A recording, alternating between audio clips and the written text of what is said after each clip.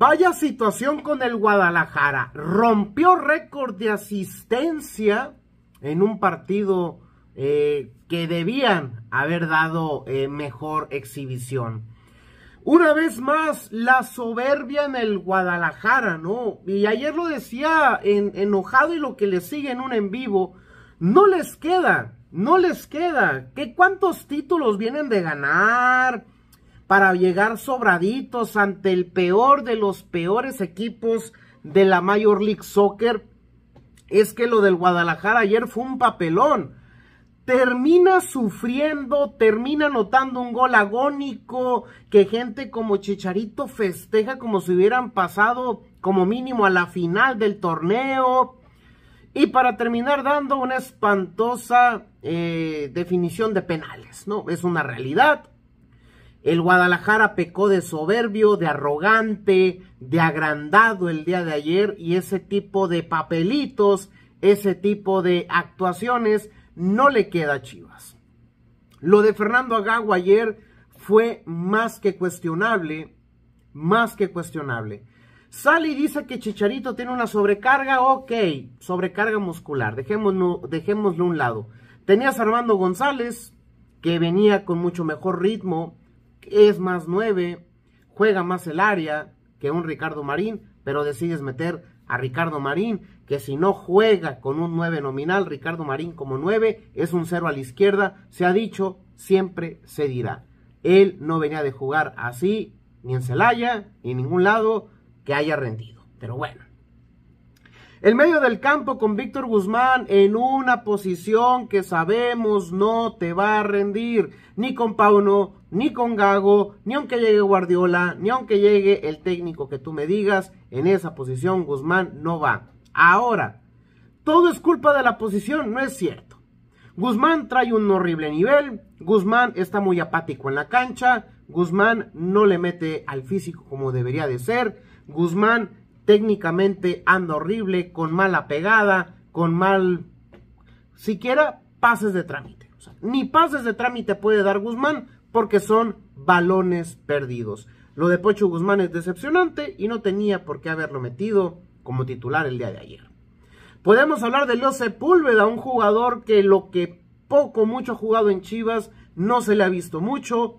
Tenías mejores variantes. El premio a José Castillo por ponerlo en posiciones donde no va y rendir es la banca actualmente. Ese es el premio para José Castillo. O sea, el manejo de Fernando Gago ha sido pésimo, horrible y lo que le sigue. Pavel Pérez, un mes sin jugar al fútbol, de, en partidos, como, como parte ¿no? del jugador profesional, no solo entrenar, y lo metes de titular. Un mes inactivo, pudiéramos decirlo, salvo los entrenamientos, ¿no? Que está en forma física y eso. Pero ni ritmo, y reitero, un mes sin jugar al fútbol en un partido oficial y lo metes de titular. Lo de Fernando Gago simple y sencillamente fue soberbia. Lo de los jugadores en la cancha también. Era lógico que San José Erquix iba a salir con el cuchillo entre los dientes y con todo, con todo lo que le alcance al San José para sacar el resultado. Y Chivas soberbio en lo suyo, ¿no? Agrandados, eso es lo que fue. Un equipo agrandado que no tiene ni por dónde serlo, o sea, ¿dónde? Dime tus últimos siete años, Chivas, ¿de dónde sacas lo agrandado? ¿De dónde sacas el venir y hacer menos?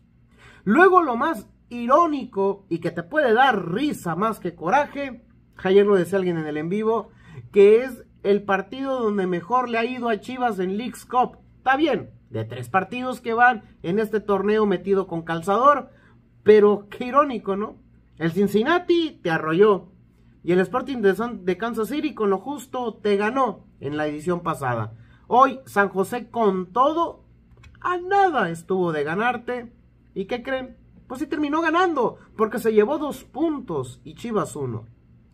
Lecatombe que se viene es que le tienes que ganar sí o sí al LA Galaxy para poder avanzar. Porque si empatas, por ejemplo, si LA Galaxy empata con San José, y empatan Chivas y Galaxy, se van a la tanda de penales a ver quién va a ser el ganón. ¿No? Porque San José tendrá la oportunidad de ese, de, de ese punto extra y todavía el punto extra que se jugaría si empatan. O sea, Chivas, desastroso por donde lo quieran ver. Era ganar, ganar o ganar.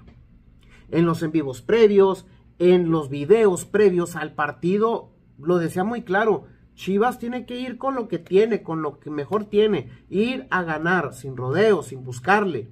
La misma tónica que contra Querétaro, la misma tónica que contra Mazatlán. Pecaron, pecaron y en el pecado llevaste la penitencia, que es estar ahora azorrillado esperando a ver qué vas a sacarle al LA Galaxy, líder de la conferencia donde está el San José triplicándole los puntos prácticamente y que cuando se enfrentó el LA Galaxy con el San José, el LA Galaxy le metió seis pirulos al conjunto de los Airquakes. Entonces, ¿cómo está la situación? El Guadalajara está cerca, muy cerca de de nuevo hacer un ridículo y mayor a un ridículo del torneo pasado. Porque perdiste con el peor de los peores. Y el peor de los peores por mucho, ¿eh? Porque el peor de la otra conferencia le duplica prácticamente casi los puntos a los Airquakes. O sea, lo de ayer de Chivas, injustificable, un papelón. ¿De qué sirvió el récord? ¿De qué sirvió que fuera la gente? ¿De qué sirvió el apoyo? ¿De qué sirvió esto y el otro? Si en la cancha no lo demuestran una vez más, ¿no? ¿Qué sería de Chivas siendo un equipo competitivo al 100%? Un equipo con una vasta plantilla, ¿no? Porque la percepción está alterada, ¿no? El técnico ha de pensar, tengo una buena plantilla, hago estos cambios y le gano a los Airquakes. ¿De dónde? Tópate con pared, papá. La realidad es que a Chivas medio justo le alcanza un once decente. Y la banca luego hablamos, que le mueves poquito y más, ¿no? Pero Chivas peca muchísimo. Chivas sigue metiendo a ciertos jugadores que no, cuando tienes otras variantes. Pero bueno, en fin, ¿no?